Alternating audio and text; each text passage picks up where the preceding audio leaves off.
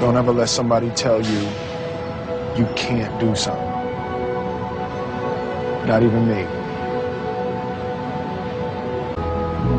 You got a dream, you got to protect it. People can't do something themselves. They want to tell you you can't do it.